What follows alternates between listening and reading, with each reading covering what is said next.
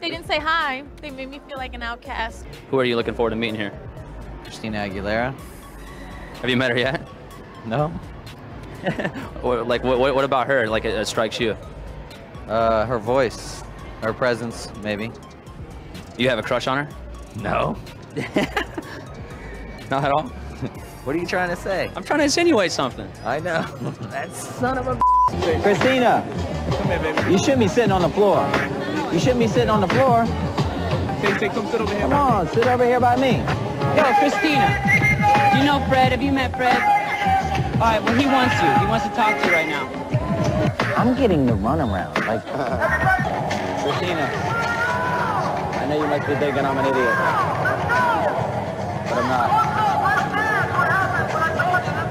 I'm Mike right now. I'm trying to get a response.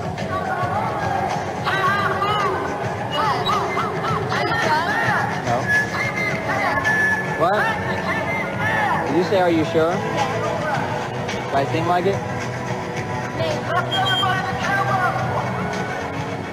That's not true.